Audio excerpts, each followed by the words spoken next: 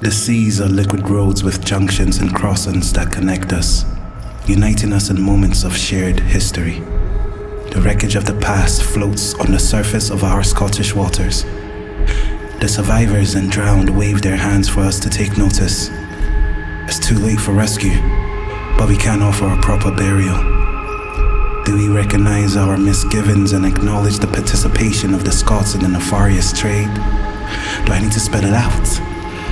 Barons and viscounts, sons of vicars, businessmen, all getting fat as they enjoy the bounty from the business of the boat, the transportation of tobacco, the cash from coarse linen cloth, and sugar. Denial is no longer an option. You, we, are now living good from the bad that has been done. That harvest didn't just materialize out of thin air. The fruits in your fruit basket did not come from your ancestors' sweat, their broken bones, and labor. There was nothing sweet in the bitter exploitation of those who gave you sugar for your tea. How much blood makes us see? How much blood makes us see? How can blood make us free? Have you seen the color of black blood? It's as red as white. Witness me as a living memory, a ghost made flesh, conjuring residual hurt.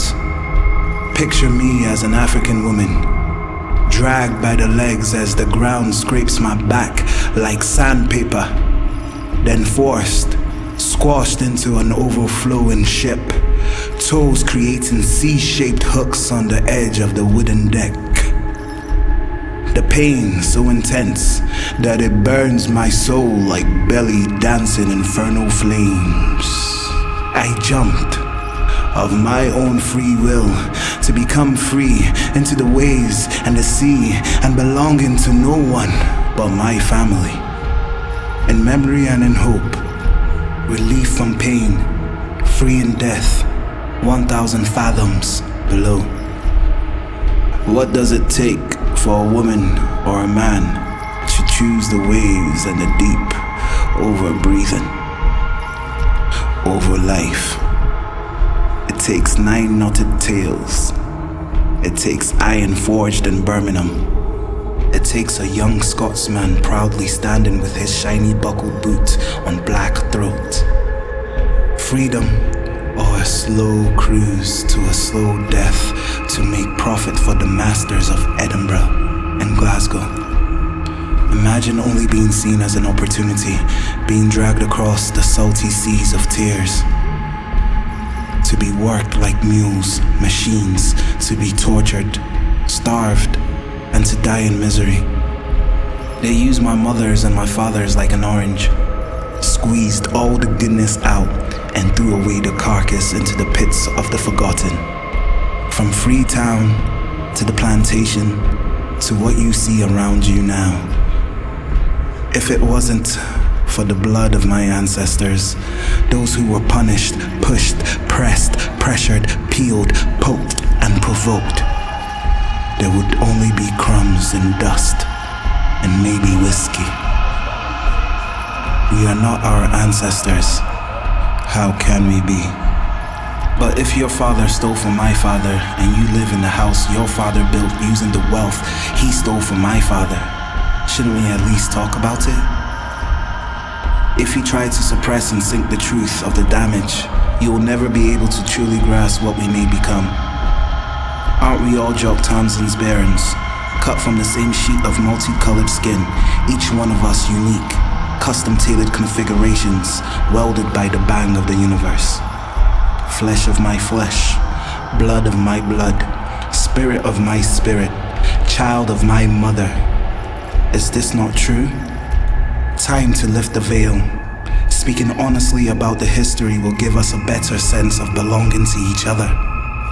We are no longer playing hide and seek. Don't you worry, I am still your brother. I am a person like you. You are not a racist because of something your great great great grandfather might have done. Around Scotland's great cities, we see memorials to these grandfathers, on street names, buildings, statues, and plaques. James Lindsay, Henry Dundas, Archibald Ingram, Andrew Buchanan, John Gladstone of Leith, just to mention a drop in the huge sea of beneficiaries.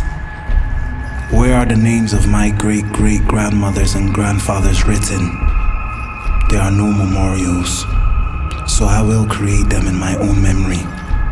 I remember.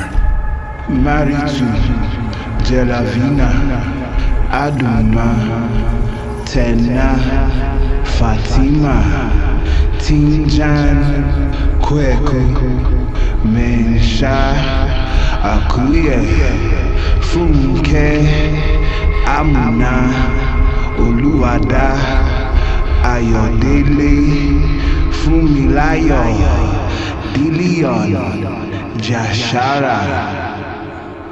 And I ask that you remember them too.